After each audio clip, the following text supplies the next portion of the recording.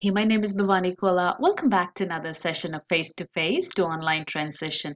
Today we will be looking at how can we create custom Bitmoji banners for our announcements in our Teams classes.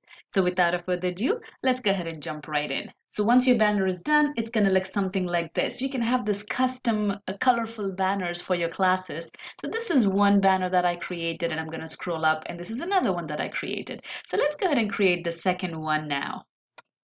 So here I am in my blank PowerPoint presentation and as you can see I do have design ideas coming up right next to me but that's not what I'm looking at. I'm going to go ahead and click on design and I'm going to click on the slide size and I'm going to click on custom slide size.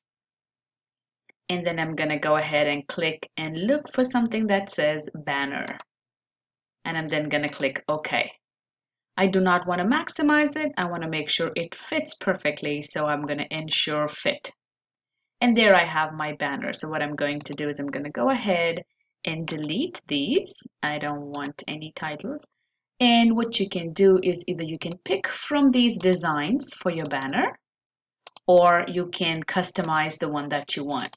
But today I am in a mood for picking this one. I think I like this one. This one? No, I like this color. So I'm going to go ahead and keep this color. But if you want to go ahead and format your background, you can always go ahead and click format, choose the gradient, choose the solid color, choose picture, picture or texture, or simply go back and reset your background.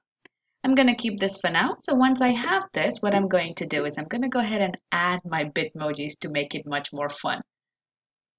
So I'm going to click on my Chrome, where is I'm going to go ahead and open a Chrome page and here are my Bitmojis. I'm going to go ahead and say math. And I have various math. Where is it? Okay, I like yeah, I like this one. I'm simply going to go ahead and copy it and I will paste it. I'm going to go ahead and pick a couple more. Let's see, that looks good. Paste it, perfect.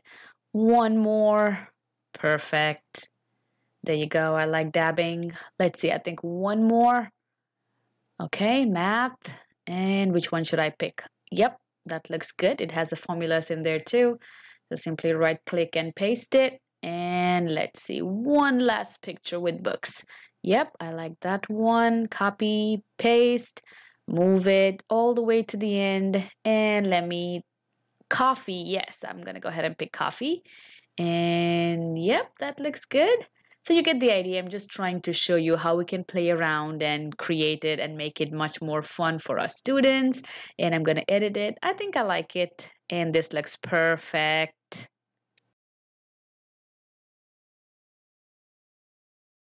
Once I do that, I'm going to go to insert and I'm going to click on icons and I'm going to type in blackboard or just board. I can see it right here.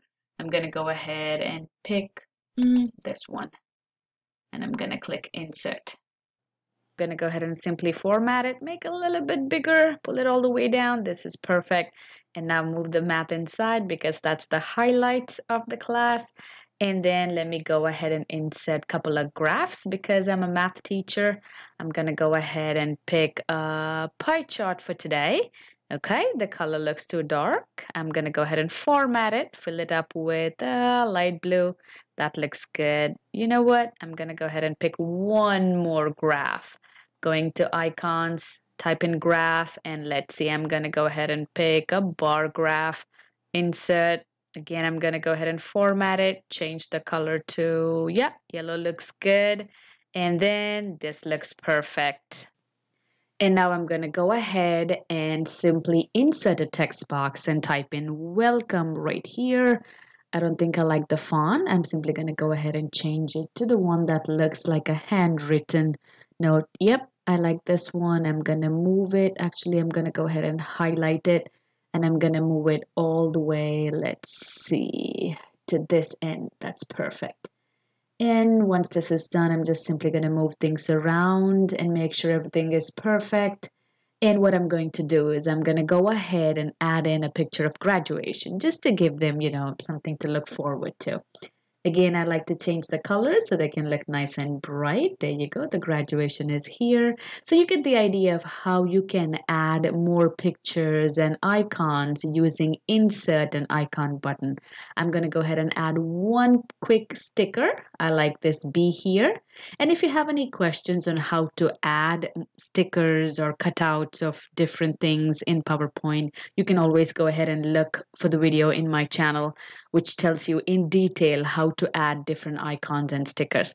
So what I'm going to do right now is I'm going to go ahead and put a cutout of this guy right here.